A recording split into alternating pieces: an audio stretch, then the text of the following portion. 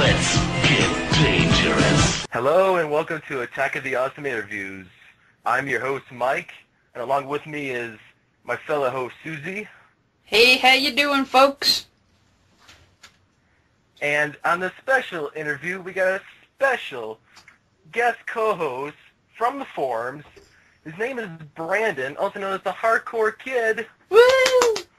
Yo, you guys ready for nice our? to be here. All right, sweet. Are you guys ready for our uh, guest that we're gonna about to interview here? We are indeed. We are. Uh, our second guest is one of the big three female reviewers from That Guy with the Glasses. She's known for her anime news editorial. She's known for her awesome singing. The one and only Marzgurl. Hi. Yay! Hey, Marzi. We got some questions, and Brandon, eh, would you like to start the questions? I would be glad to. All right. Um, where do I start? Um, I guess we'll start with some questions by the movie Brat. Yes? No? Maybe? Maybe. Okay. Okay. and uh, the movie Brat from our from the forums. Uh, first question is, what is your opinion on the Highlander films, if you've seen them? Uh, yeah, I've seen them, and uh, of course, Highlander, awesome. And then it just kind of got progressively weird. Um, you know, I don't know what else uh, further I can say about that, but uh, I think most people who have seen them would agree. That's funny because my high school football team is called the Highlanders. And, um, nice. it's pretty much Do they get progressively Yeah. weird too over the course of the year? Oh, you betcha. I'm glad I got out there when I did. I'm in college now. oh dear. nice. Okay. Mike, I believe you're next. Yeah, I know. Uh, the next question is, uh, any Godzilla films you like and why? What's your favorite Godzilla film? Well, actually, recently I've been starting watching the uh, Godzilla movies um, from first release, first order. I've, I've been doing them in order of release. So, um, and then there was a few that I took out of order. There was one that I saw, gosh, I, and I'm suddenly not remembering what, what it, Godzilla Returns or whatever, like the very second one was. Um, and uh, what's the name of the actor who plays Sulu in Star Trek? What's his name? Um, Uh, George Takei. suddenly not. George Takei, yeah. He's not actually credited in it, but he voice acts a whole bunch of extra characters in it. And uh, I recall there was at one point a uh, an interview that he did, which explained this one line about um, where this character was calling somebody stupid or something, and because they wanted to match lip flaps, they couldn't figure out what would actually fit lip flaps best, and so they were like, "Ha, banana oil." what? yeah, banana oil. So for for reasons like that, like the older ones are just so ridiculous, and they got hacked into tiny pieces for release in the U.S. Those are like the cheesiest ones, and the cheesiest ones I find the most fun. Cool. That and they Whoa, can't whoa, pronounce Godzilla. the city uh, Hokkaido. They they like to say Hokkaido rather than Hokkaido. So those are some of my favorites. Well, awesome. everybody has trouble pronouncing words. I have trouble pronouncing words all the time. Uh, Don't we all? Right, I've got a couple of questions for you, Yeah. um, Marzgurl. The first is, who would your ideal cast for an English redub of Sailor Moon be? Ideal cast, gosh. I I'm gonna be honest with you. I don't care. I really don't care. So long as it isn't somebody they just pulled off the street. So long as it isn't somebody they grabbed from the the old geek dubs, and so long as the translation is written well, Yeah. I really don't care so long as they just do their job. Exactly. That's all we can ask of them. And uh, what are your favourite Miyazaki films? Of Howl's Moving Castle, um, Laputa Castle in the Sky.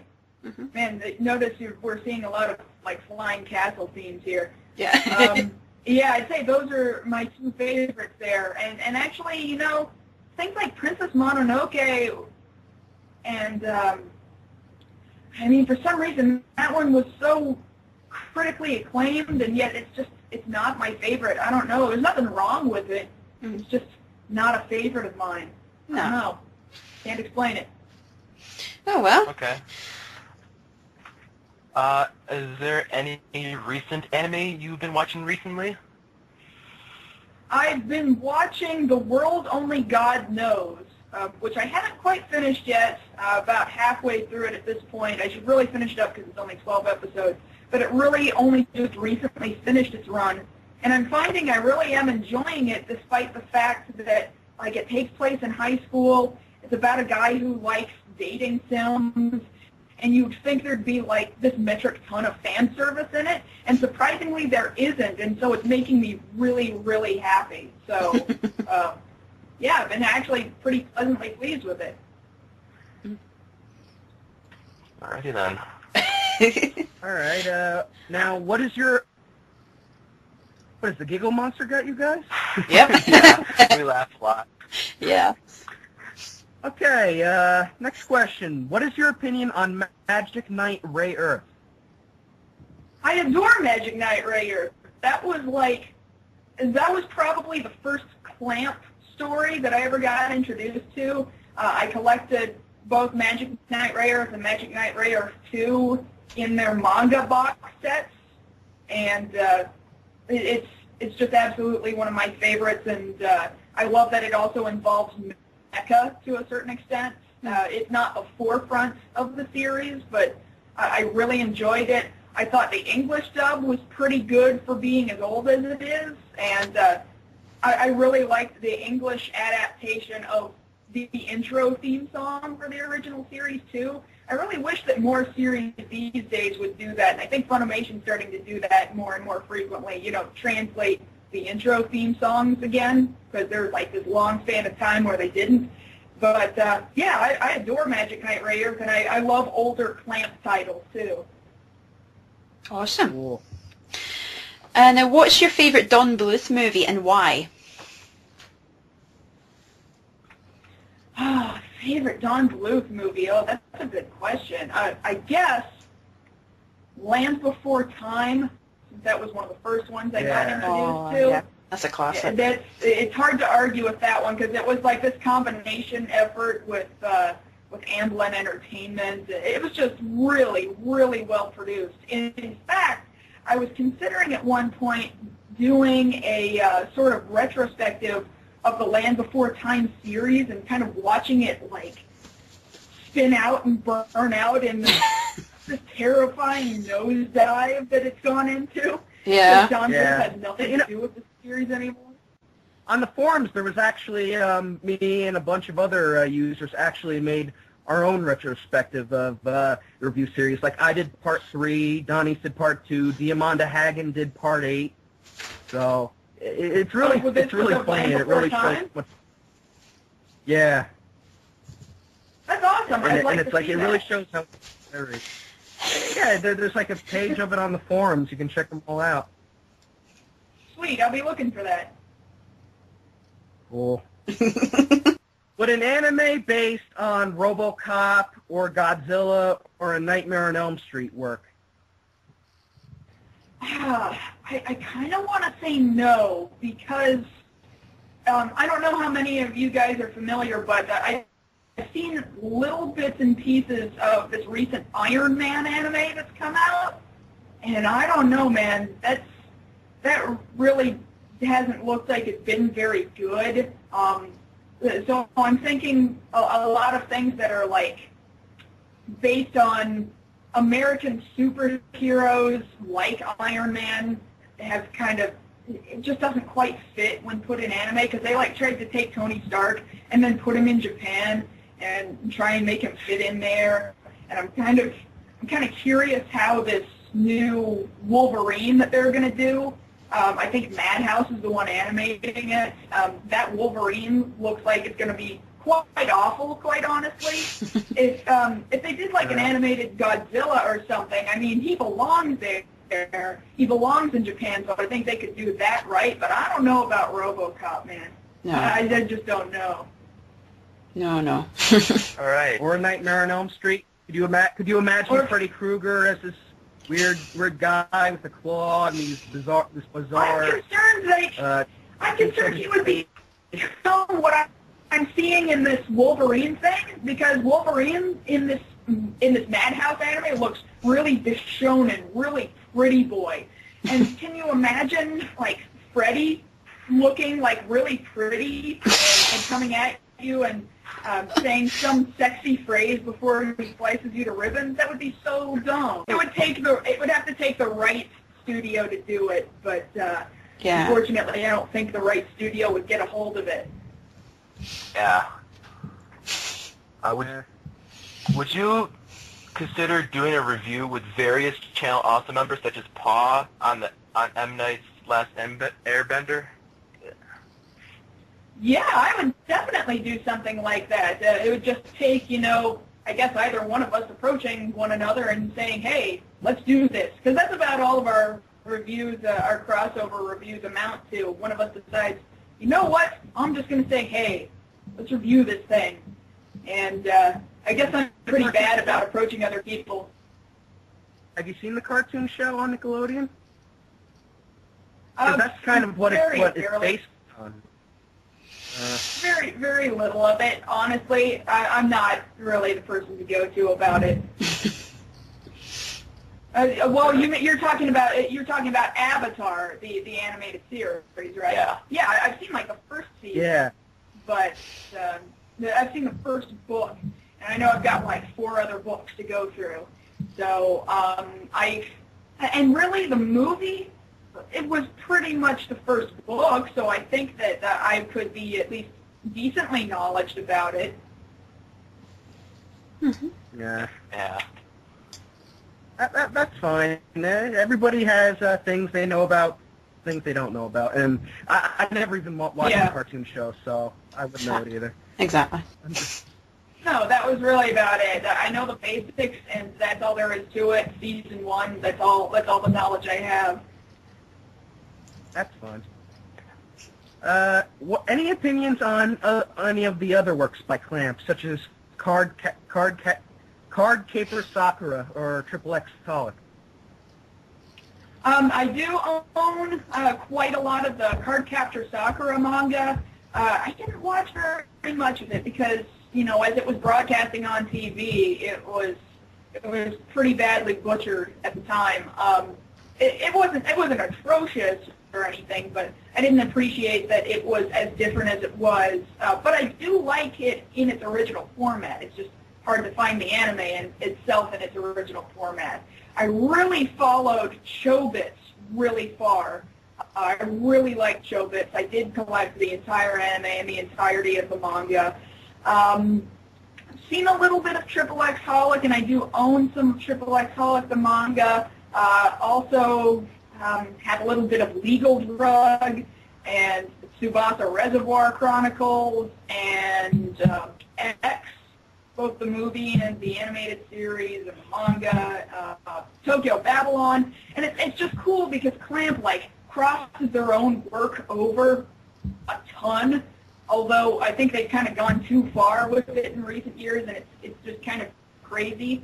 But occasionally in the older stuff, like with uh, Angelic Layer, you'd see characters from that series like cameo really, really briefly in Chobits, and you'd be like, hey, I know who that person is, and it's like the cameo is there to make you, just you, feel special. So that's what I thought was kind of cool about, about the older Clamp titles. Awesome. Right. Uh, do you have any favourite anime US distribution companies? Currently, probably Funimation. I think Funimation has probably done the best job uh, within recent years.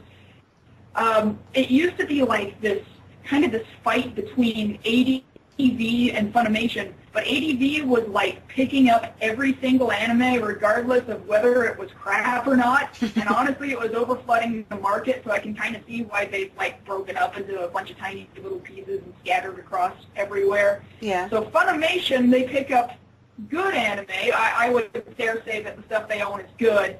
And um, that I like their translations. I like their dubs. I like that they have so much available for free and streaming on their website and on YouTube and such. Uh, I just think they're doing a real good job these days. And again, like I mentioned before, um, they've started translating the uh, opening sequences to anime titles. So there's an English version and a Japanese version of the opening sequence. I think that's really cool and really fun. Awesome. Cool. uh, how did you get introduced to Jim Cummings? I was probably was probably first really interested through Darkwing Duck. And then as a kid, I, I just had an ear for things like that voice sounds the same as that voice. So I connected him mm-hmm. with like Pete from Goof Troop. And then later on in life, I was realizing I am hearing this voice everywhere. I'm like, is, is he bonkers as well? Is, is he also Winnie the Pooh? What's going on here? And so I look at my later and I'm like, this man's resume is like 10 miles long.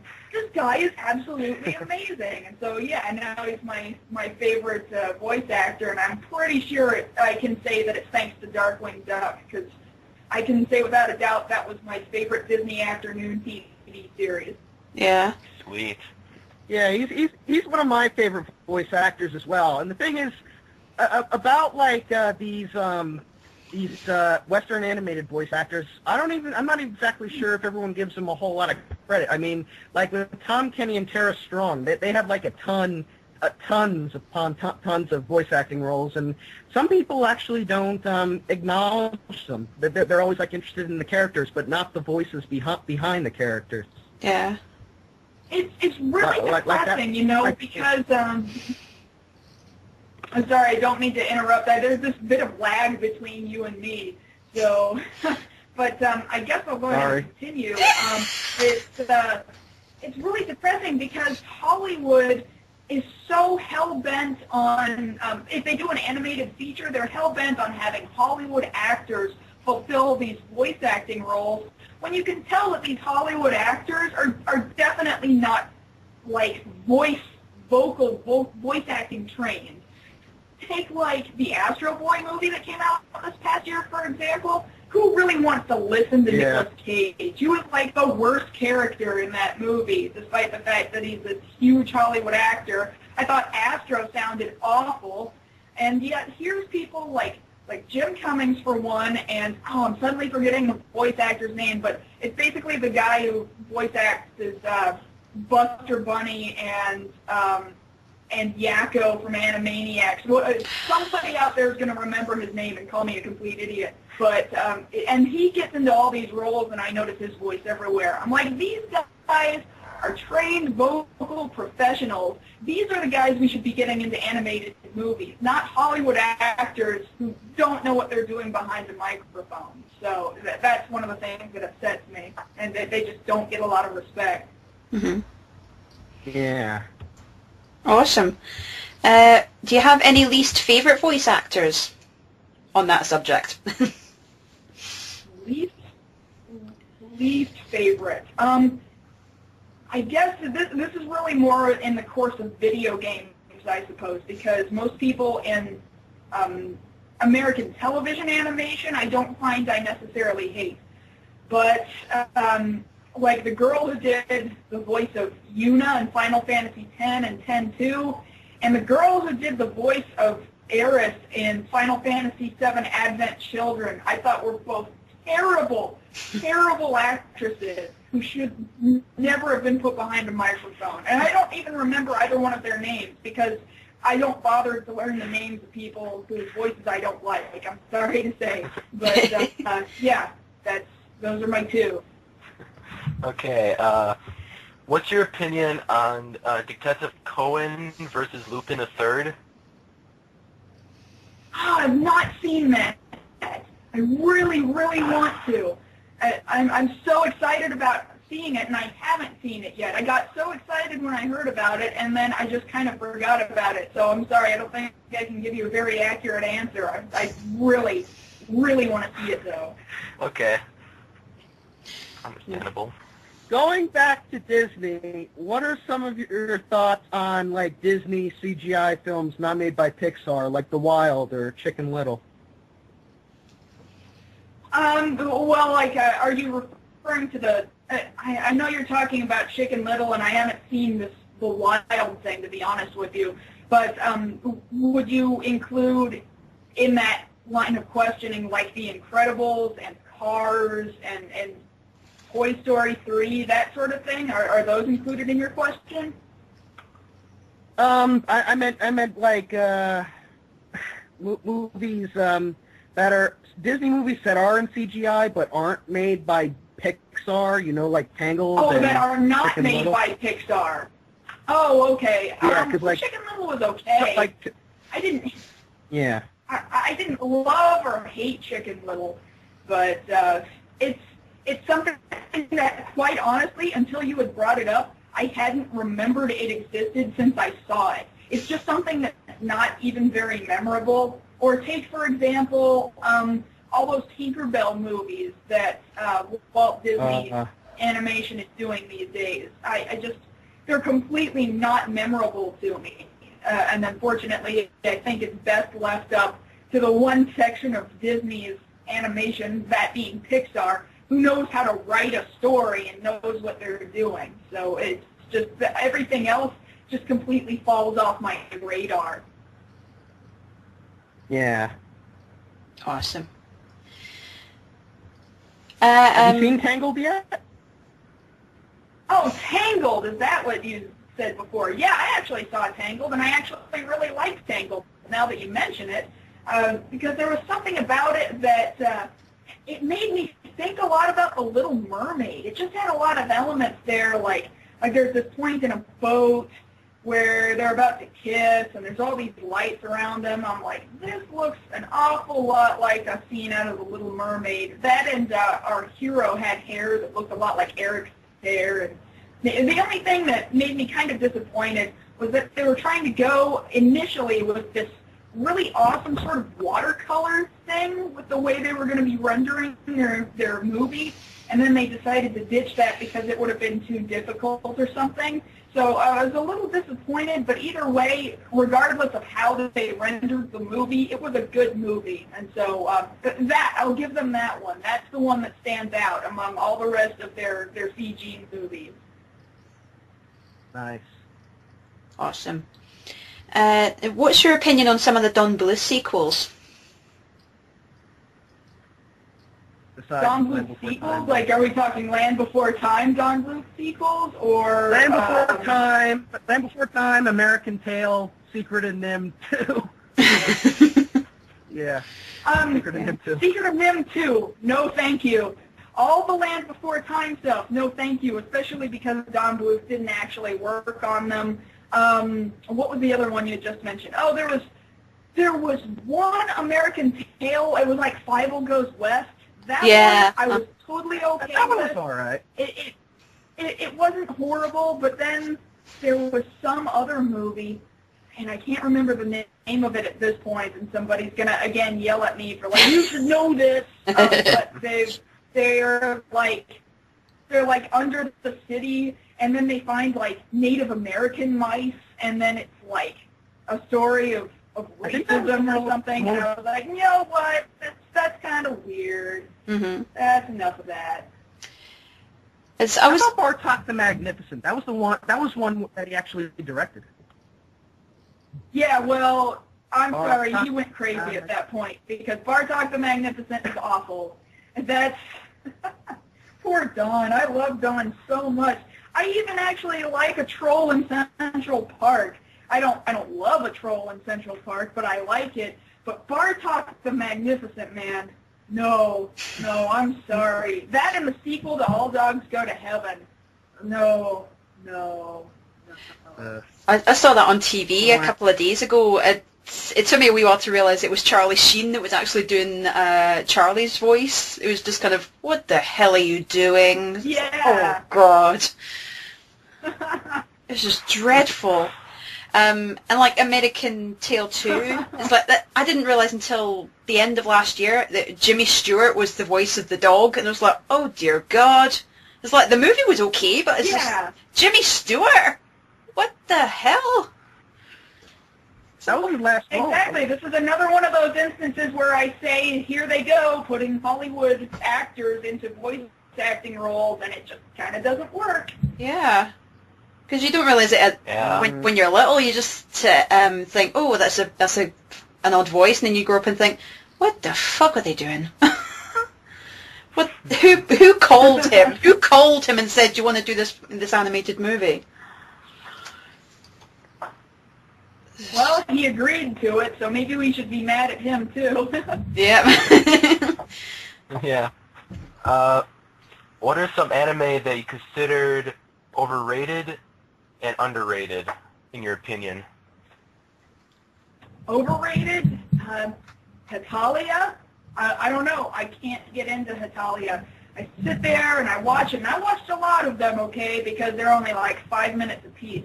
And it's just, I, I don't get it. It's, it's just all over the place. And there's nothing actually historical about it, and it's just an excuse to pair cute guys together. Well, then why don't you just make a series about cute guys getting together?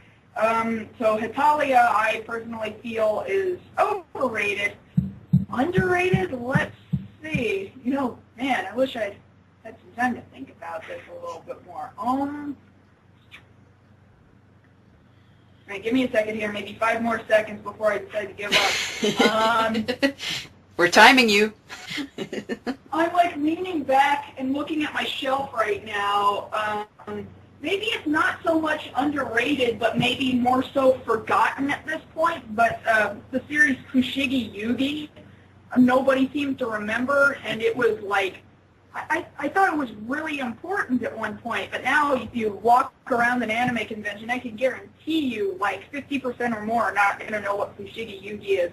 And it was like one of the most important shoujo anime manga series that I can think of within the last 20 years.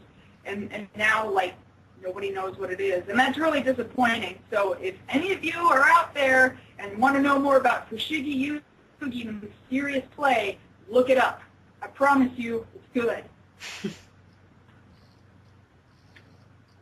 Okay.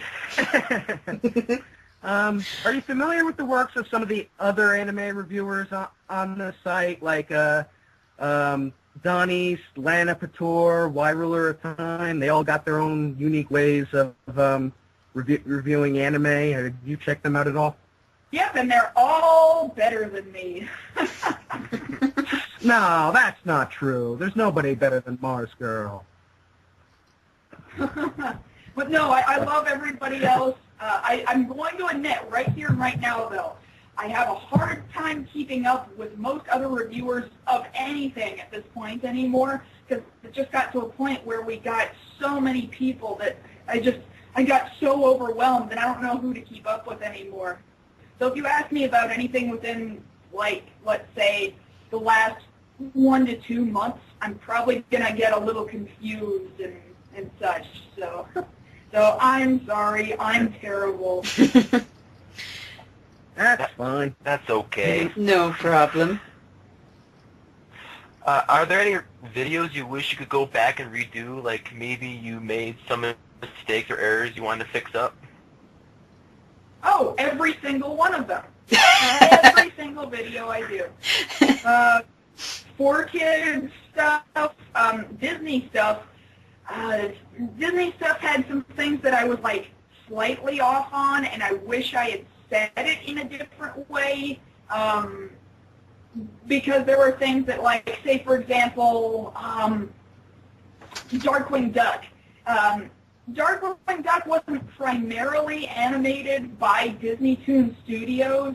Um, in fact, most episodes were not, but it's not like the Australian studio never touched Darkwing Duck. So I I kind of wish I had made that clear back then, but uh, a little bit late now, I guess. Okay. When I first heard the name Marzgurl, I, I always thought you were named after Marzipan from Homestar Runner. You know, the Homestar's girlfriend. She looks like a baseball bat. Yeah, yeah, I'm Um, familiar with her. Um, are- have you seen Homestar Runner? Yeah, absolutely. I haven't kept up with it within like the past year, but when I was in high school up until like a year ago or so, I, I watched absolutely everything. I had seen every single animation, regardless of what subsection of the website it was. I loved Homestar Runner. But no, that's not what my name is in reference to at all. It was Marvin the Martian, yes? Yeah, it, it's a reference to Marvin the Martian because it was like at the time when I was when I was starting to get into the internet like and, and start joining chat rooms and forums and stuff. I was really frustrated that I didn't know the gender of some people I was talking to, so I didn't know what was okay to say, what pronouns were okay to say. So I was like, all right, the girl part's kind of important to me. Um, and then the Mars part was, yes, in reference to Marvin the Martian because uh, back then, and it still stands now, he is indeed my favorite animated character. So there you go. Although um, I'm about to turn 25, so I'm thinking of dropping the girl part pretty soon. I don't know what I'd replace it with, or if I even would replace it with something. hmm Mars chick, Mars. I have no idea. I really have no idea. Mars lady. Something like that. Mars gal. Uh, that might work. How about some questions by our good friend Detroit Mechwork? Yeah? Yeah, how about that? Mechwork? yeah. Let's go with that. Yeah. Let's go with that. Uh, so Detroit's first question: uh, Are you going to do any more comedy-only shows? And then it goes, please, please, please, please, please. You know, I really don't know because I don't think I'm particularly funny. The internet, for the most part, has told me that I'm not particularly funny, although then there's this small group of people who insist that I am. I'm like, I don't know who to do this for because most people are just going to get mad at me and then I'm going to go back and watch it and I'm not going to laugh at it. so I, I don't know. I would have to test the waters really, really carefully. Um, I just, I don't know. I don't think I'm funny. Okay. Uh, Detroit has this uh, weird running gag with his ex-wife, and he and he uh, he asks, "Could you do me a favor and stop looking like my ex-wife?" I don't know if I can help you out there, bud. I, I really don't know. Sorry, man. What do you want me to do? Like wear a mask, wear a, wear a wig, or and put on a mustache? Uh, then again, I mean, does your mu- does your ex-wife have facial hair? I don't know. That could be bad. Oh, yeah, that good. was. Uh, the next question he has is, uh, Texas? Jesus, I know you live in Austin, but still, how can you stand it? He had I a don't live in Austin. I live in San Antonio, but that's okay. It's like an hour's difference. Um, I don't really like Texas. I'm here because my family moved me here, and then it's a matter of cash to move me elsewhere, and now I'm kind of comfortable with my circle of friends. But otherwise, no, I really, I really don't like Texas, to be quite honest with you. okay. Uh, do you find do you find the trend towards obs- obsession in anime fans disturbing? You know, like with all the dress ups and all the uh, fangirlism that go- that goes around. Well, okay, here's the thing. I like cosplay.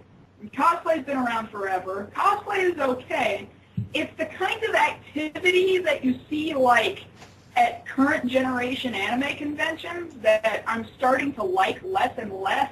It didn't used to be as loud or as young as it is now. And um, the the girls who go now are uh, they like think it's okay to run up to a complete stranger, start shouting at them, and then basically tackle friendly assault one another without asking if it's okay first. like like I get it. We all like the same stuff, and that sort of stuff happens in anime. But people are still people who have to like live in this culture where it's not okay to start running up and yelling at people and tackle hugging them and stuff. So you know, you could at least ask, hey, is it okay if I run up and jump and hug you? And and they don't do that. It's that sort of thing that kind of bothers me. Hmm. Of course. Um, any plans for the new year? Plans? I, I don't know. Um, like I, I know I'm going to MagFest for one thing, uh, and that of course is coming up in like a week and a half. I don't know about Uh, I don't know about any other conventions I'm going to. As far as Come video to New York. New York, uh, maybe. As far as videos are concerned, though, I was really thinking about that Land Before Time thing, but I'm not 100% certain I'll do that. Um, I, I kind of just play it by ear and wait for the news to come to me. Uh, otherwise, no, I, I'm not really strictly scheduling anything. Hmm. All right. Uh, if you were picked as the nostalgia chick, what reviews would you have done immediately? I would have gone straight for uh, Jem, uh, the, the old television series Oh. Jem. I, I actually, um, I was thinking about that while I was doing the last Unicorn review as the uh, contest entry, and I was like, what if this, what if this like actually works out? This could be a bad thing because I don't know if I have any other material. And then I ended up uh, getting contacted by someone who offered to send me DVD copies of the Jem, and I acquired it from him, and I, I totally would have tackled that next. Um, and maybe I will still at some point. I don't know, but it's it's not really uh, like I feel like the nostalgia chick title would have shoehorned me into this position where I had to talk about a certain kind of thing, and I felt more freed up when I didn't quite win that title, so I could kind of go off and do whatever I wanted. Mhm. But you know, I guess since now I can do whatever I want, uh, I could also do Jem at some point. So depends on how many people ask me to actually do it. Maybe somebody listening will think that's a good idea. You should do that. So Yeah, exactly. if they do, then go ahead and tell me. All right. These are, these are some weird questions. Um, what's your opinion on Shiner Bock, which I guess is beer? Yeah, it's it's a it's a Texas it's a Texas thing. Um, I don't have an opinion because I'm going to be honest with you. I am the 25 year old loser who has never had a drop of alcohol in my life, and I don't plan on having a drink. Hey, So there you go, no opinion. Stay sober. Yep. Drink, you drive, you lose. exactly. Sober party, woo! Anywho, uh, if you could do a crossover with any internet or real celebrity, who would it be and why? Crossover with any internet or real celebrity. hmm I don't have a good answer for that because I totally never thought about that before. So I'm going to say a real weird name like like Chris Chan, as in the guy who does. Oh, that's it, Dad. Get him away from me. So something like really, really bizarre, and then it would just it would just be so bizarre that it would like be instantly meme worthy. It, it would just be so weird, and it would spread across the internet like wildfire. I have no idea what we would do because that poor guy, God bless that guy, but really, all over the internet with all of your oddities, really, man, that that guy, just wow.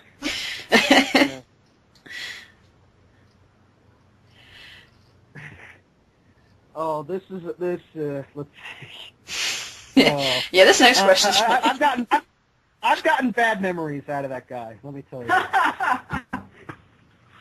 Nerf or nothing. Nerf for nothing for sure.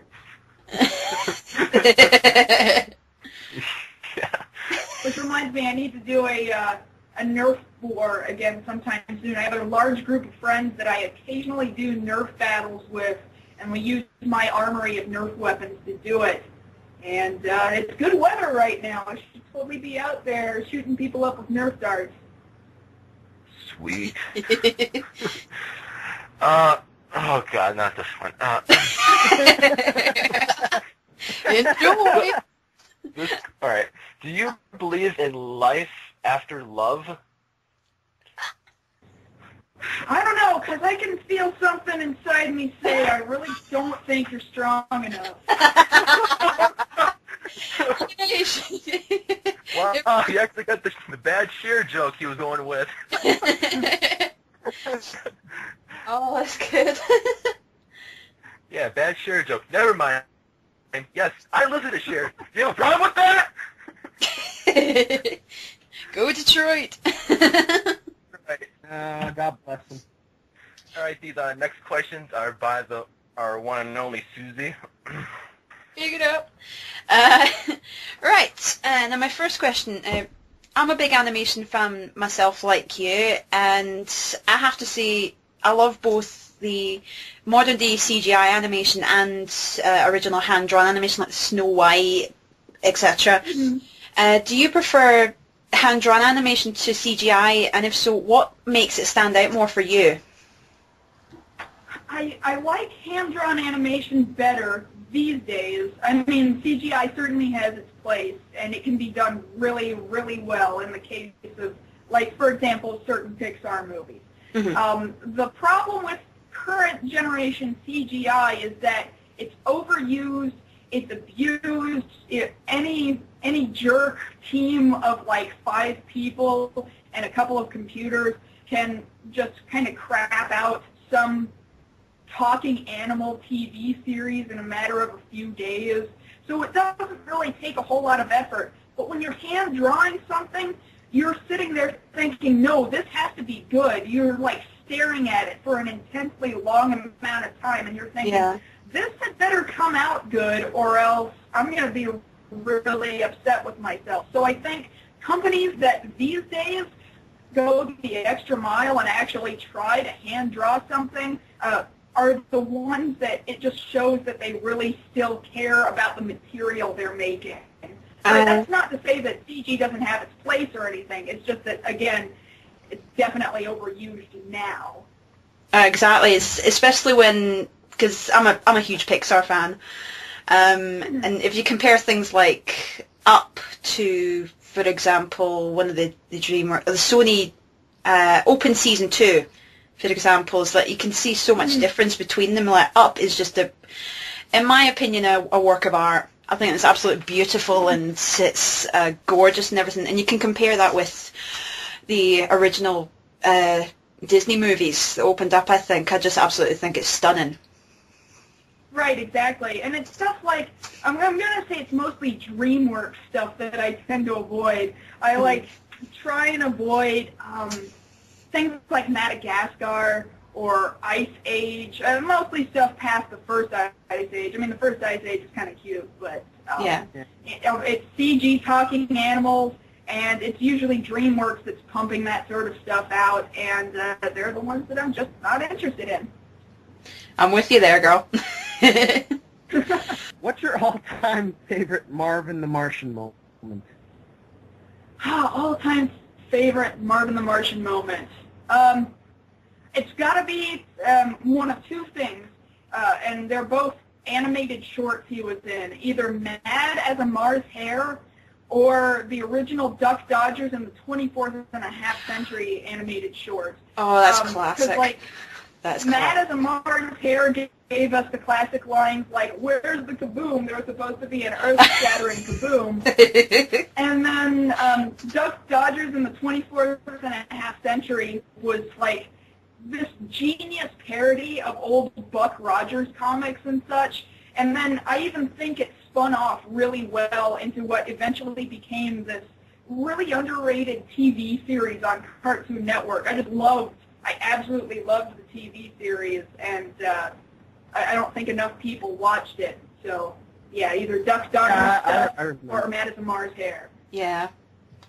Oh, Yeah. I thought it was, I thought I thought it was funny, but kind of kind of weird. hmm Like e- even more weird compared to like say all the other Looney Tunes stuff. Yeah, that's true.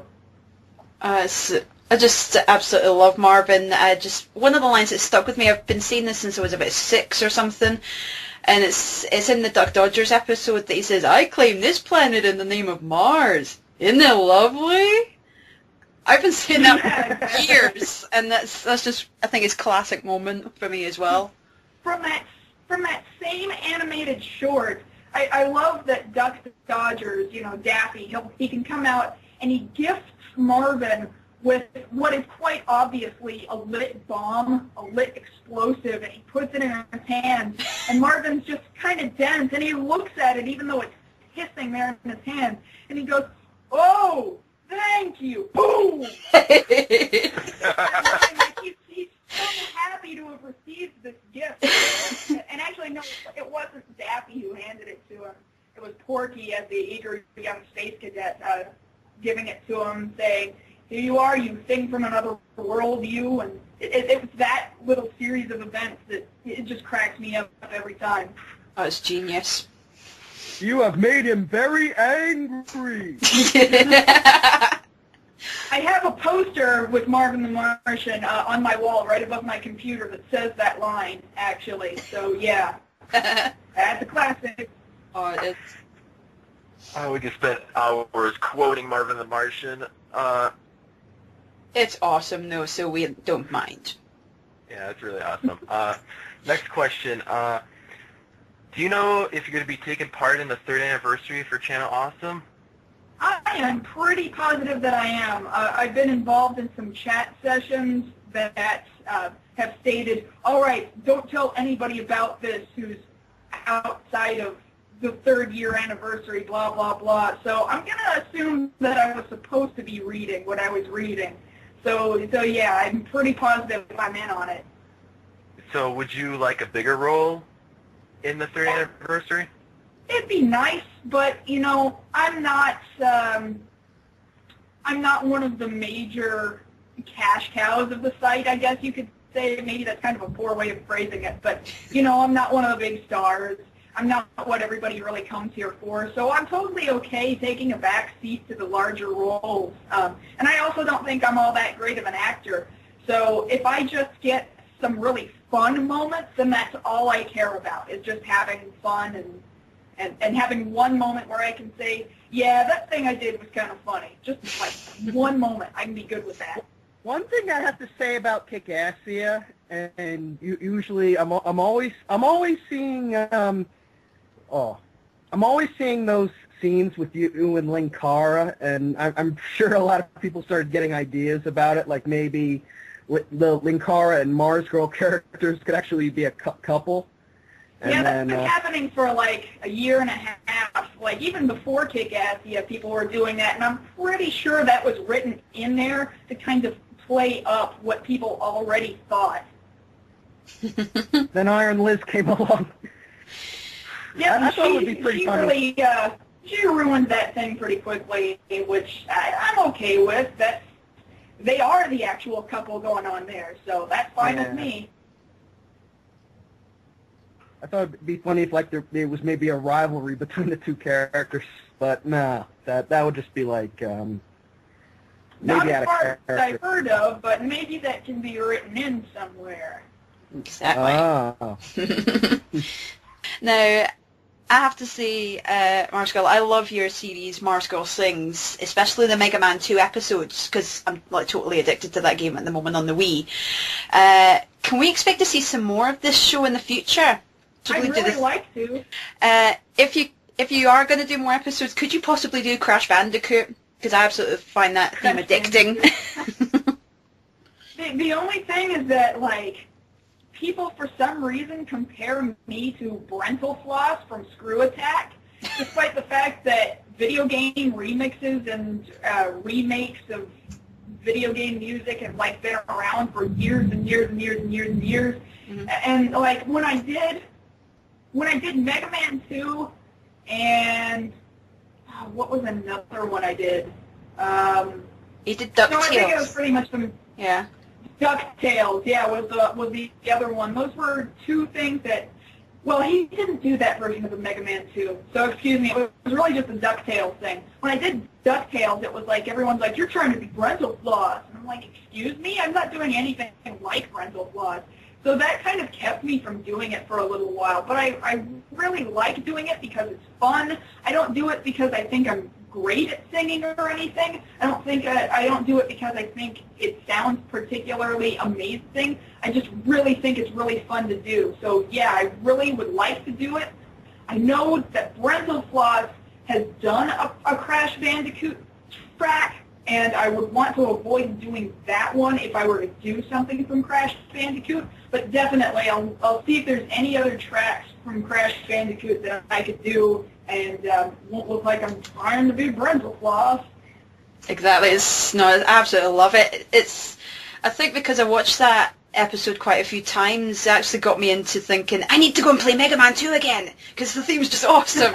and I'm I'm playing it. Now, Mega Man 2 has what, what was quite honestly, very arguably, the best music in the entirety of the Mega Man series. So it's like Awesome. a no-brainer to do Mega Man 2 music. Exactly. That's that was just one of my favourite games as a kid, and it's my my favourite now at the moment. 20 years later, after I started playing it, it's amazing.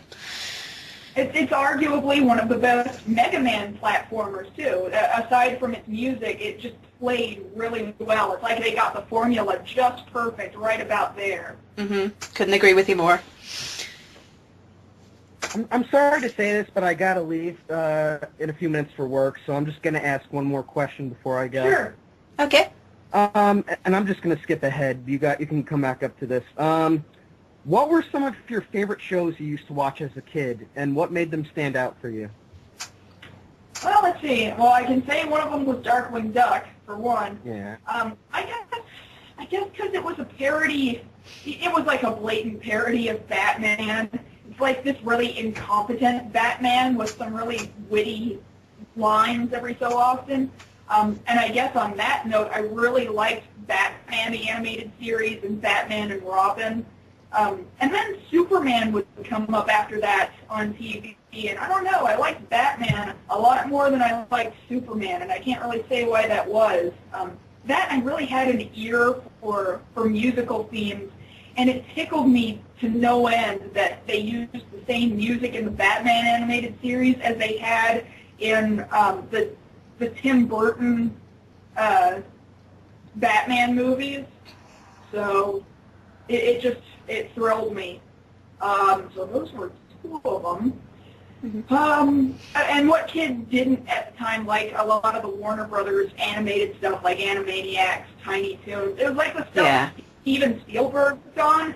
There was stuff that at the time totally went over my head. And then I can go back and watch them now, and I feel just as giddy about it, but for entirely new reasons, plus the old reasons. So, so those were good on like all levels. And then I don't know, I didn't have, I didn't have much TV when I was a kid that wasn't local television broadcasting, aside from um, the WB and Fox.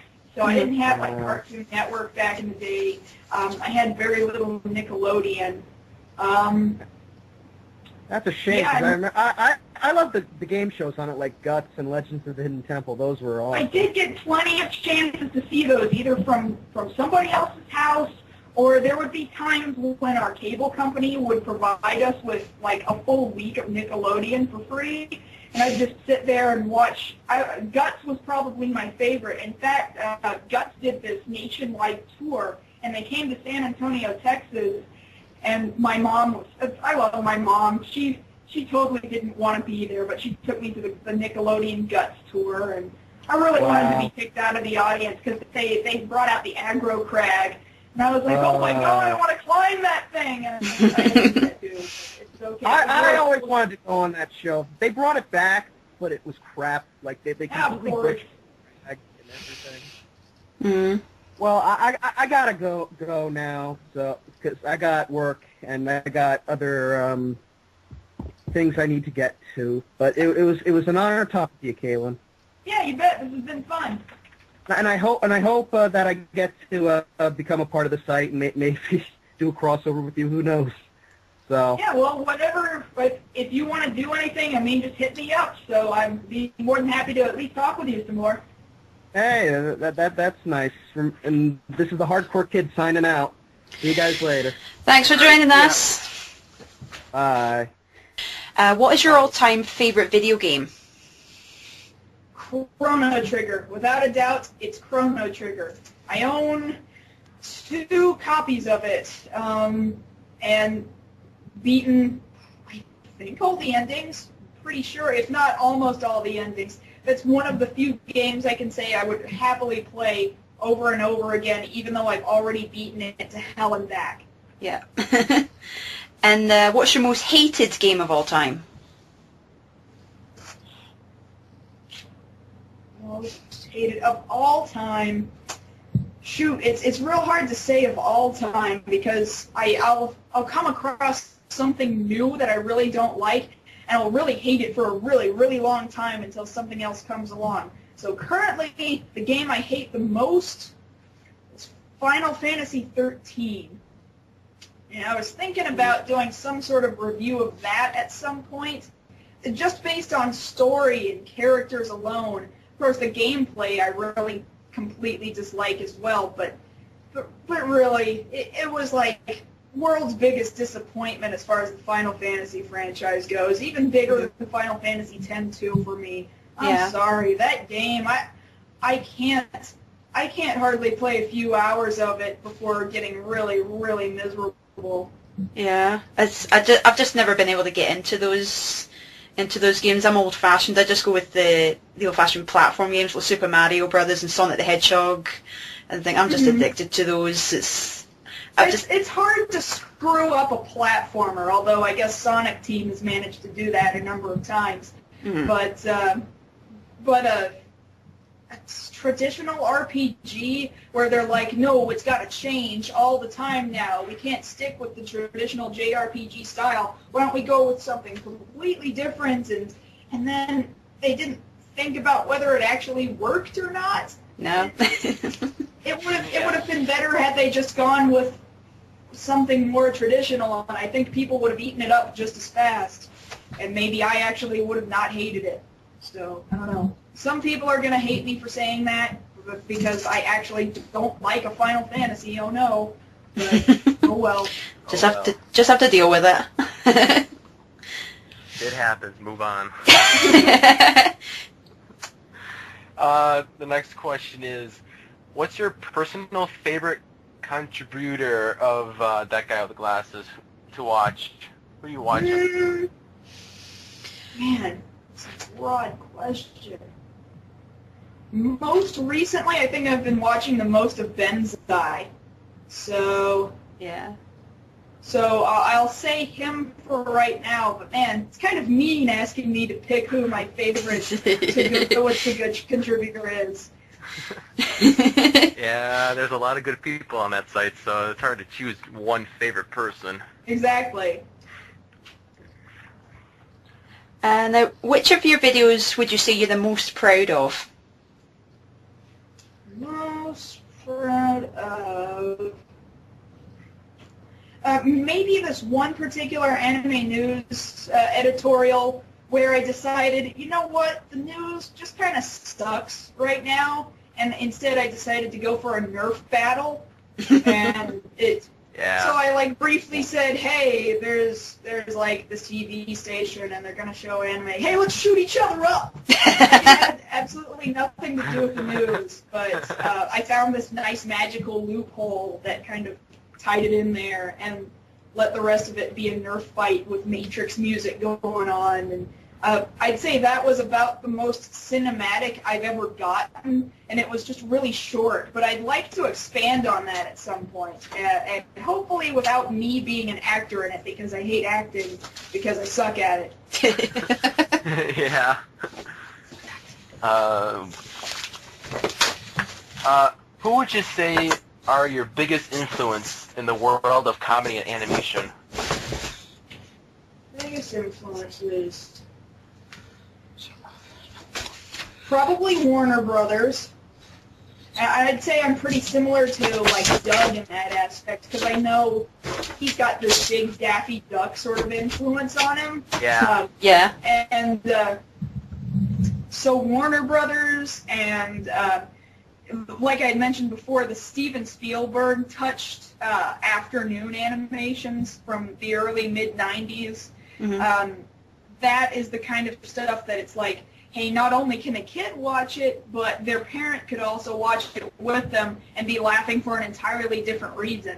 So, yeah, I'd say Warner Brothers, and really he worked with Warner Brothers. So that's like, I'd say Warner Brothers is like my animation heroes. Uh, Disney is all right, but they're just not the kind of slapstick funny that Warner Brothers has been for decades upon decades. Uh, that's I, I find that as well. Just any Looney Tunes cartoon that, that comes on the TV, I just find myself giggling hysterically at. Like uh, anything Daffy Duck and Bugs Bunny, um, Exactly. and Pinky and the Brain, Animaniacs, Freakazoid. Just they're Mhm. just all hysterical. Even now, when you watch them and you watch them like what 10, 15 years ago, and they're back on, you just think this is hysterical. hmm They're just absolutely genius. I, I I like Warner Brothers, but I'm heavily uh, Donald Duck oriented, so I used to watch Donald Duck cartoons all the time on Disney. Donald Duck was pretty good out of Disney's animated shorts, I'll admit. Yeah, and the funny thing is, is that I can do a spot-on impression of Donald Duck. Oh no. yeah. Uh, let me let me give you a sample of what it sounds All like. right. Uh,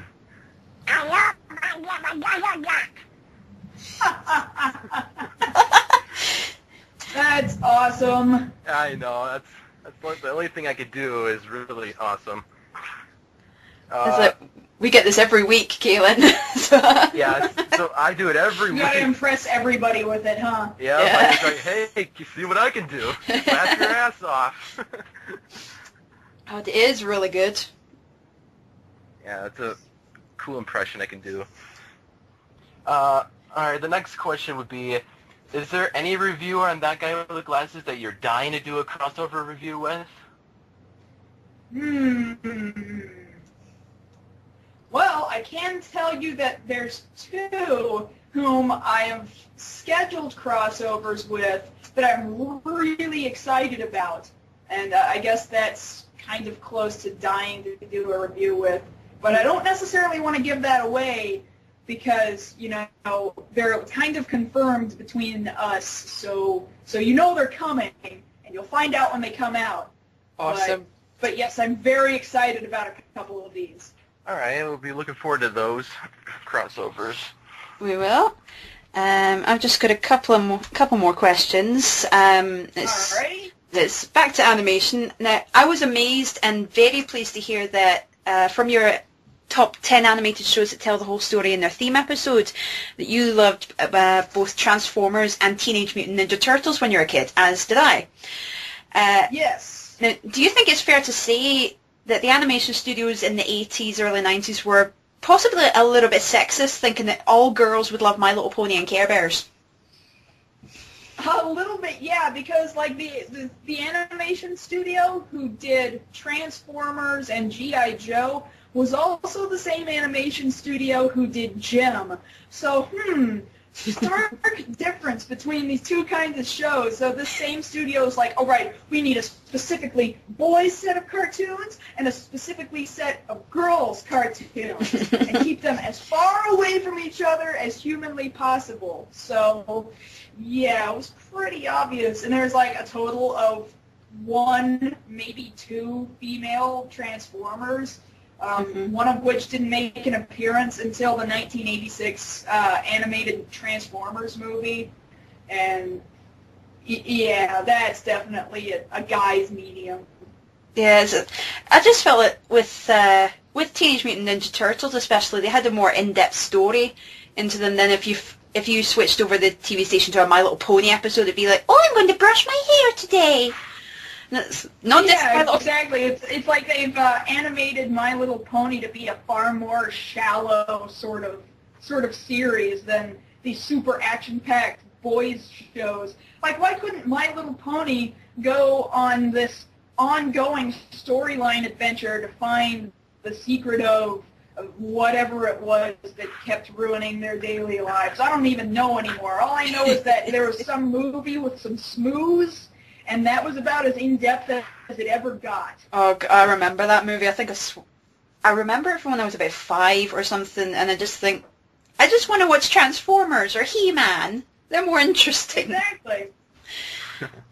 There's this ongoing crisis in those shows. There's no ongoing crisis in My Little Pony. It's like, oh no, someone is trying to make our castle not so happy. I don't care. I really don't care. just blow something up, make it interesting. And uh, I'm also a huge Disney fan, and uh, like you said in the Disney Toon Studios episodes, uh, I love a Goofy movie and DuckTales the movie. Uh, is there any other of these types of Disney movie that you absolutely adore? um, let's see. Now, are you talking like out of Disney Toon Studios, or, or basically just anything that um, wasn't necessarily animated as part of the Disney classics? Yeah, ba- uh, basically any- anything outside of the the normal classes like Sleeping Beauty, etc. Hmm, um, because I don't know. It's basically Disney Toons who did a whole bunch of the work. But, you know, I mentioned in that one review um, about Winnie the Pooh's Grand Adventure, Most Grand Adventure. Yeah, uh-huh. I, I absolutely adore that movie. I think that is a great, great movie because it, it just has these moments where you're like, Christopher Robin's not going to disappear, is he? These characters that we know and love, are, they're getting sad. I don't like that they're sad. And then in the end, everything's okay, and you realize nobody has any reason to be sad. And it's like, wow, this is a really nice movie. it is. It's you, you don't, especially now. Like if you sit and watch a Winnie the Pooh movie, you think I shouldn't like this. I'm in my twenties. I shouldn't like this. But Yeah. you find yourself running and think this is so good. Well, it's kind of like um, I don't know how many of you have watched Toy Story three. Oh, but it- Toy Story three, I, I went into it initially thinking, uh, it's about the the kid. He's going off to college. I don't know if I'm gonna like this. And then by the end of it, I completely changed my tune because I was like, I'm an adult, and these are toys, but I'm like legitimately sad. It it kind of brings back this memory of childhood, and you're growing up, and you have to let these sort of things go. But these things were there for you like the whole time, Yeah. and it. it it's a tearjerker, and Winnie the Pooh kind of is similar because you realize that Pooh and Tigger and all the other characters are actually all toys that belong to Christopher Robin, and Christopher Robin has grown up a little bit. He's he's starting to go to school now for the first time in that movie, Mhm. and uh, so he's not going to be there nearly as often. And so it's it's kind of the same story. It's legitimately almost equally as sad. Mhm. Okay. That's. I, I have to agree with you with Toy Story. I, anybody that knows me will know that I'm absolutely addicted to the Toy Story trilogy, and I just think they're absolutely kick ass. It is an awful good series of movies. I didn't think the third one was going to be as good as it was, and it just blew me out of the water. Oh, I, did, I was sitting in buckets of tears at the end of it.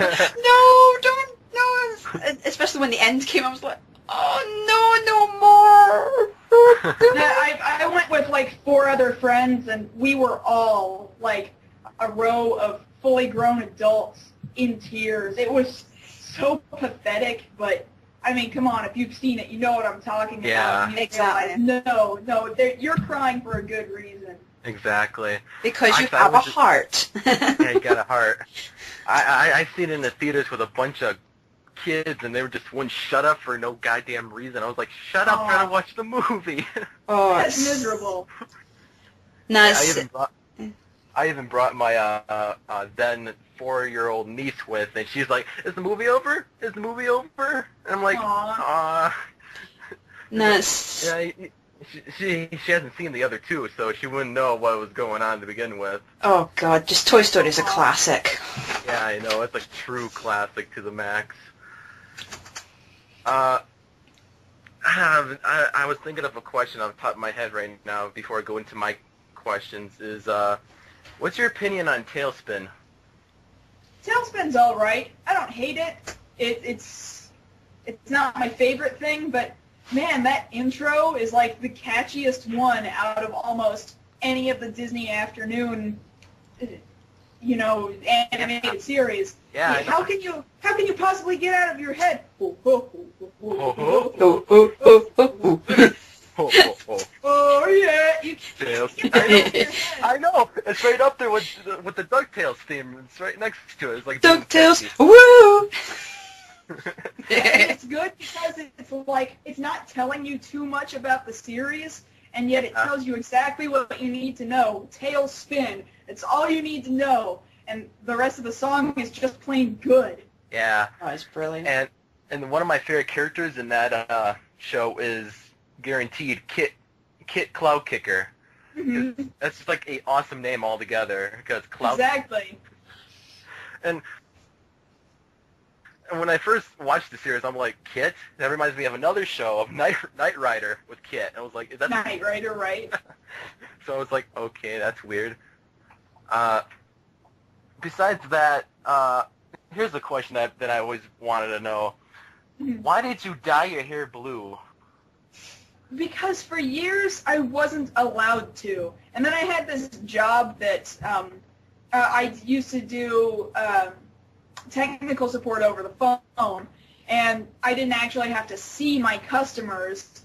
And people were coming in with crazy hair colors and hairstyles all the time because you know we don't see customers. Mhm. And I was like, you know what, blue, just just to be radical and different because I've never been able to do it before, blue. And then it, it happened, it just so happened that like that very same week that I scheduled the appointment, that's when Doug put out the uh, video looking for the nostalgia chick, and I was like, oh man, I'm gonna have blue hair for this review. And then they picked me up, and I'm like, people only know me with blue hair. Now I have to keep it, and so I've had it for like over two years. Now I'm finally going to be getting rid of it, and uh, it's about time. I'm done with the blue now. I, it's Yeah. had its run. It's done. Time to move on. um, any future cons you plan on going to? Well, there was MagFest for one. Mhm. Um, there's another one that I don't even know what year it's going to happen. Okay, it might not happen until 2012 or 2013. But I want to go to a Star Wars celebration, and they only happen once every couple of years. oh. One happened just this past year in 2010, and uh, I just I'm kicking myself because I missed it. And it used to be that they didn't allow video cameras in there, so I was like, huh, I don't want to go. And then I find out after the fact that this year they actually did. So I'm like, darn it, why didn't I go? Whenever the next one comes up is, is when I'm going to be going to that. Um, I am going to A-Kon. I did already purchase a badge for A-Kon. Mhm. I don't know that I'm a guest at any other conventions. I got asked if I wanted to be a guest at a couple, but I'm not going to say anything until they either confirm or deny. yeah. So those are at least my official plans. And uh, I was thinking about one of the Comikets, uh, one of the comic markets in Japan this year. But I don't know if I'm going to be financially able to do that or not. It, it, it all depends. That one's up in the air. Right. What was your favorite con that you went to? Um, like last year or Uh, ever? Ever. Just ever. Ever? Uh, Because we all know really you, hard. It's it, it's hard to say which convention was the best because they can be the best for different reasons. yeah. If it's for if it's for reasons like I did something totally awesome with my friends that had like no relation to how the convention was set up, then I'm gonna say that that was just this past weekend at Ikkicon because I went with one of my best friends and we did some really awesome stuff while we were there, but it had nothing to do with the way the convention was organized in any way, shape, or form. Or um, do we say it's uh, if, if we're going by the way a convention was organized, I'd say the London MCM Expo had probably the best organization I've ever seen. Although I don't know if that counts as a con because it's an expo. Um, Yeah. Mm. But um, the ScrewAttack Gaming Convention that falls under the um, the atmosphere of the people who are there, um, and not necessarily the programming. The programming's okay. Um, some dangerous things happen there. Things don't always happen exactly on time or as according to plan. But it, the stuff that is mostly scheduled there, and the, the people who go there are just really really awesome. That is probably the best atmosphere of people I've ever been to for the last two years. So um, I say go to a con that has a good atmosphere of people before going to a con because you want the con to fulfill something for you because these days I don't think conventions are really doing that very well. Yeah, because uh, a couple of months ago I went to my first ever con, and it was just amazing. Hmm And the people, I think, are really what make the convention, rather than the convention making the convention. Yeah, yeah, that, that was, and uh, th- that con I went to was called Daisho Con in uh, in Wisconsin, Mhm. and uh, Doug and Lewis were there as guests, so I met Yeah, I'm, I'm mildly familiar with DaishoCon. I'm familiar with quite a number of conventions around the U.S., and I've wanted to go to a ton of them, and never had the opportunity to do so. Yeah, that, that, actually, you know, I was think I was like, who should be the next guest of Daisho Con? I was like, maybe Marzgurl could travel up to Wisconsin. That'd be great. I would totally go there. If somebody decided I was important enough to invite, I would be there in a heartbeat.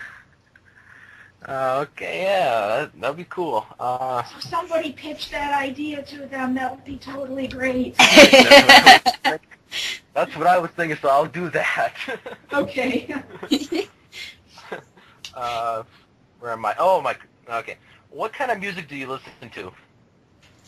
Uh, mostly video game soundtracks as well as Eurobeat. So stuff from like um, Initial D and the Para Para Paradise games, um, and then it just kind of evolved from there.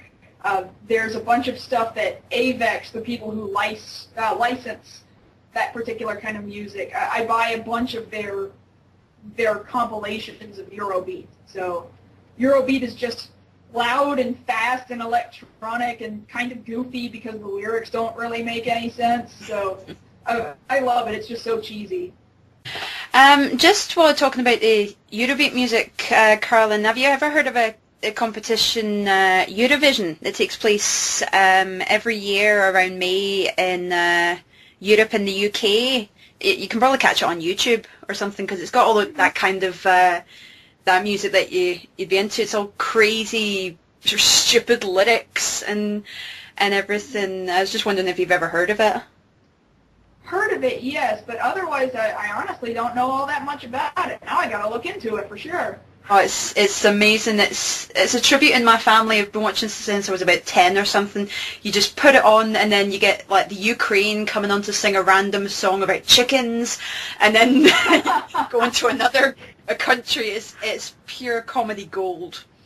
Yeah, exactly. That's why I love Eurobeat so much because it just doesn't make sense. There's stuff like "My Sweet Banana" and like, like really, these are the lyrics. And, and yeah, those are the lyrics. That's why it's awesome. It's just it's so cheesy but hysterical at the same time. So you need you need to check it out. Absolutely, I'll be doing that for sure. and uh, what bands or musicians do you listen to? Well, among Eurobeat, there's Dave Rodgers. He's probably my favorite Eurobeat musician. Um, other than that, I don't follow too many bands like popular pop culture bands. Yeah. I do really like, uh, as a composer, uh, Nobuo Uematsu, whom I'm sure everyone and their mom knows of from the Final Fantasy series. Um, and of course, he's done other games along with the guy who made Final Fantasy, who went off and started his own company. Uh, so he did stuff like Blue Dragon and Lost Odyssey. Uh, he did one of the Oh My Goddess movies soundtracks. So he has a pretty long list of credentials of stuff he's done, and I, I, I love his compositions.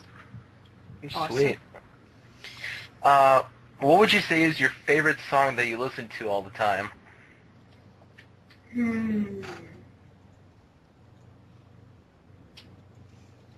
Don't Stop Me Now by uh, by Queen Oh, good choice. Sweet. because it's uh, it's just something that that shouts that I'm having fun, I'm having a good time. It's just really positive and really happy, and I, I can just run around and shout that at the top of my lungs. That is a great song.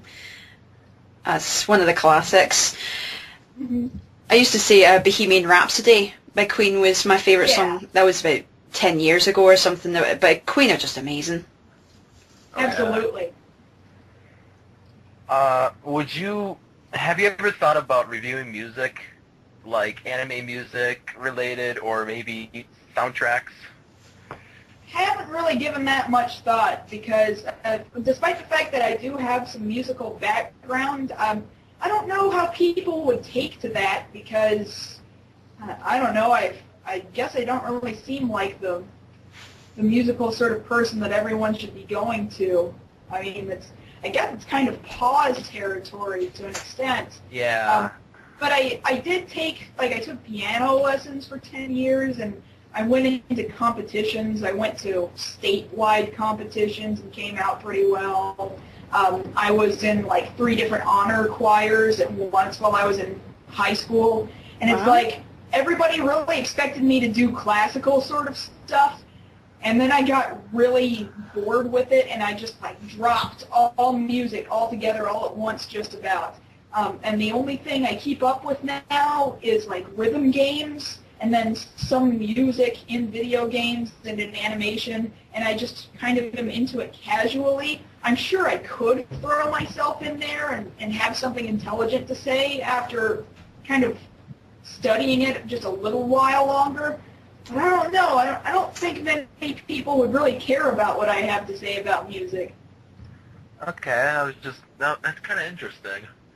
Because you know, there's other because I'm I'm a music critic. I'll tell you, I I have a series that I'm starting out is uh, I'm reviewing music videos, and there's not a lot of word from any music critics anywhere. It's just all movies, TVs, anime, games, and that's pretty much it. So I just Uh-huh. so I I was just wondering if anybody would just branch out to music reviews in any shape or form. You know what? I think you should just dive into that because you know it's not particularly um, well reviewed just yet. Everyone else is pretty much already got everything covered, and then there's 80 bajillion people who do cover the same things, and music isn't exactly really fully covered yet. So by all means, get in there and do oh, it. Oh yeah, that's what, that's what I'm going into. Yeah, for sure. Uh, You're diving in there. Um, so our very last question for you, uh, Marzgurl. What do you think of live action adaptations of cartoons, like, for example, Scooby-Doo and Yogi Bear? Oh, oh, no.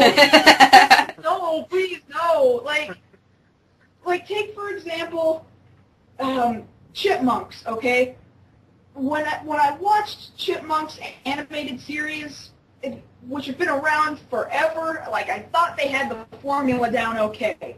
They weren't like real chipmunks. They were these deformed kids who had kind of pinched up chip, chipmunk kind of faces.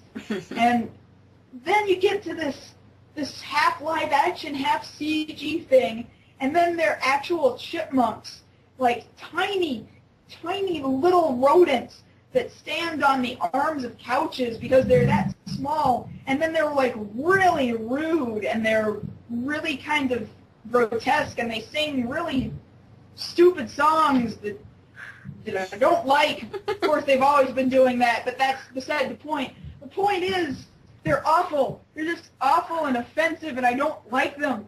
Don't like them at all. yeah, I do agree with you that Alvin the Chipmunks has been one of my favorite things growing up. And when I saw the movie, I was like, what the fuck? Exactly. what did you do? Oh, the- and now they think that this is a great idea for some reason. Oh, oh, and that's another thing. Apparently there's going to be some some Marvin the Martian movie too. Oh, you're I- I've joking? heard this from a couple of different sources, and it's going to be who like Mike Myers doing oh, the Oh, voice of Marvin, and that sounds awful. That sounds atrocious. That makes me really angry just thinking about it. I don't even need to see screenshots of it. I don't even need to see a trailer. I No. am mad. I am really, really unhappy. that's it. Why can't they just leave the classics alone?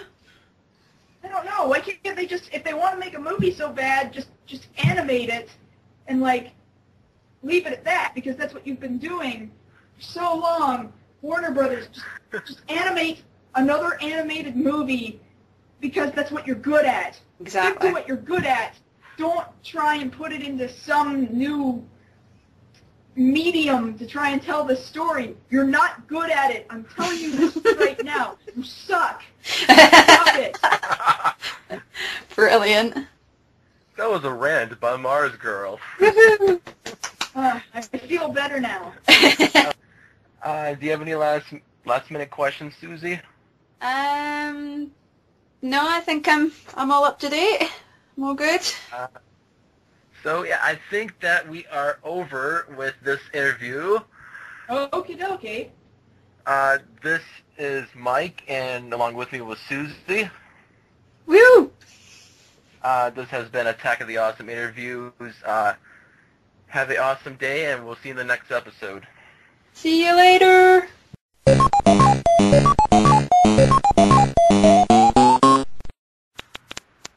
Yeah, we got it. Hello. Hello, Brandon. Hello. Uh, yeah, this Susie. This is Brandon. Brandon. This is Susie. Nice to meet you, Susie. and you too. Welcome to our little podcast when it works.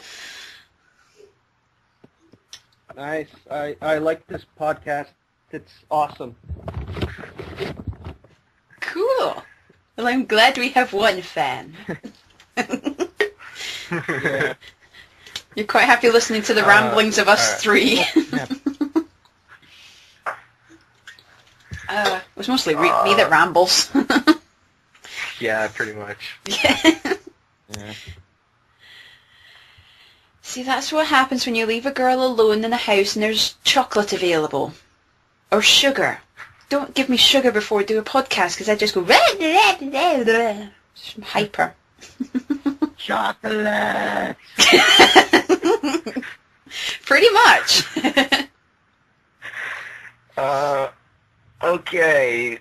We, got our questions, Mhm. and uh, we sound okay. I'm going to add Marzgurl in, and we'll uh, get ourselves going here. Okie dokie. Yeah. We are ready to rumble. Can you tell I've been watching Kung Tai Ted today? Yep. I believe you have. Ah, dear. Uh, if I sound a little tired, Brandon, it's because it's 7 o'clock in the evening here, and I'm just had my dinner and I'm a bit tired. yeah, time zones uh, suck. It's two o'clock over. Come on. Come on. Marzgurl, Mars girl, Marzgurl, Mars girl. Pick up the phone. Failed, We okay. got the phone. Cause you want this call and you cannot lie. You other brothers can't deny. When you pick up yourself phone and it's ringing at night, just ruined the thing. I was on a roll there. This went. Oh, come on.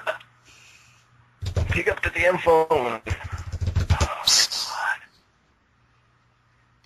Tension is getting... Hi.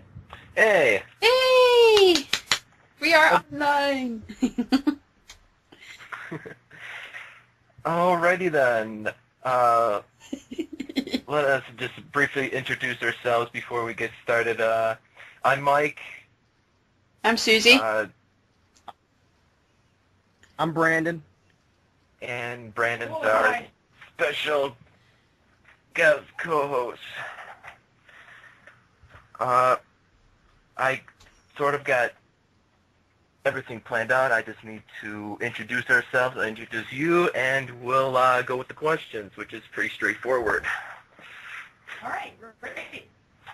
All right, let me uh, give myself. Ah.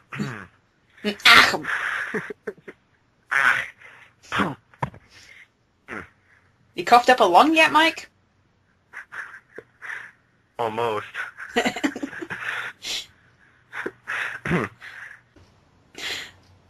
Susie, your uh, is there, I think your question's next. no? Uh, nah, I think it's your question. Or no, it's Yeah. Mike. oh, you did. Mike, sorry. Or wait, no, it's mine. Uh, there would you an anime based on RoboCop and yeah, sorry. Would an anime based on oh, oh boy. Sorry, we're I just got I, I think sorry. Confused there. I can just imagine that. What do show fool the anime world? Very strange. uh, uh, would you? Okay. Um, Yeah, I mean, I, I what are your know, I know, I know the base. Yeah. Or, or no, finish your sentence. What's that? Can I answer my question because I actually have to leave soon? Yeah. Oh, okay. let's do that now. Yeah, let's do that now. Let's just go straight into it. yeah. All right. Uh, well, oh boy, am I nervous. going going back to Disney, what are some of? Hey, hey, no laughing at me. Sorry. I I don't like being laughed at. You're okay.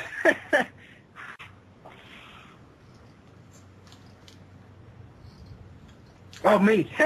There you go. um, Excuse what's me. your all-time favorite? Uh, hold on just a sec, guys. You guys continue without me. I gotta do something really quick. So, just go without me. I'll be right back. Okay. All right. See you later. He's gone. uh, yeah. Do what now? I'm sorry. I'll let you Yeah, finish the question. Sorry. All right. I'm back. So, where, Hey, where were you guys at?